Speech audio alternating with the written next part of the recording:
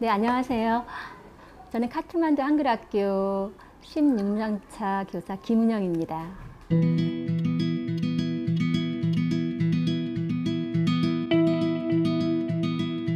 저희 카트만두 한글학교는 1987년 대사관 옥상에서 시작했는데요. 그 당시 빌려서 사용하던 저희가 건물을 빌려서 사용했는데요. 한쪽 벽이 다 완전 넘어갔어요. 그리고 강당으로 사용하는 것은 금이 많이 가서 넘어가기 직전 그런 건물 상태였어요.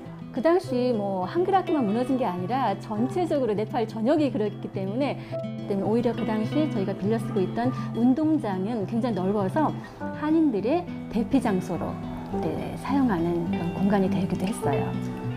심란했죠.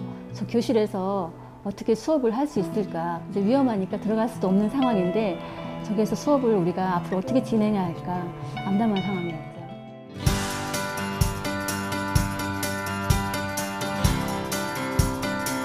저희 이런 상황을 이제 대사관에서도 이제 알고 파악하시고 재해동포재단에서 지원금을 보내주셨죠. 저희가 준비를 예전부터 한글학교 건축을 위해서 준비를 하고 있었는데 또 마침 전화 위복이 된 거죠. 새로운 건물을 지을 수가 있어요. 새로 지어진 건물을 보는 것 자체가 감동이었죠. 가슴이 벅찼죠.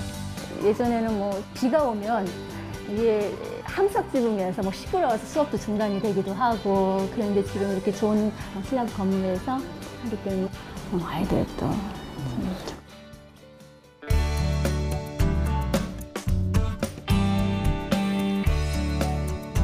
제가 한글학교 교사를 하게 된 계기는 1996년 3월에 네팔에 왔어요. 와서 중간에 아이들 낳고 키울 때 잠시 빼면 저희가 제가 16년 차인데 한국에서 교직을 제가 인수를 하고 중학교에서 잠시 교수 저는 잡은 적이 그런 경험이 있어서 자연스럽게 한글 학교로 잘 연결이 되었죠.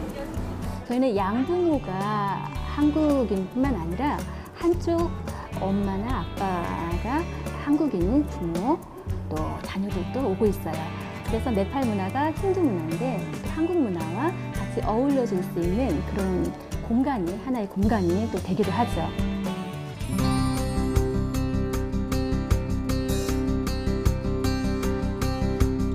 저뿐만 아니에요. 저뿐만 아니고 대부분이 학부모님들께서 교사를 하고 계세요. 그래서 네팔 한인 사회에 있는 내 아이뿐만 아니라 한인 아이들을 같이 공동 양육한다는 그런 생각을 가지고 토요일마다 이렇게 나오고 있습니다. 한글을 모르던 아이가 와서 한글을 익히게 돼서 책을 읽고 읽은 책을 가지고 또 발표회를 해요. 저희가 연극도 하고 또 어떤 또 어른들은 네팔에서 자랐기 때문에 한국 문화에 대해서 전혀 모를 거라고 생각을 하시는데 또 어떻게 이런 것을 너희가 아니? 이제 저 한글 학교에서 배웠어요. 한글 학교 선생님께서 가르쳐 주셨어요. 이런 말을 들을 때 네, 보람이 있죠.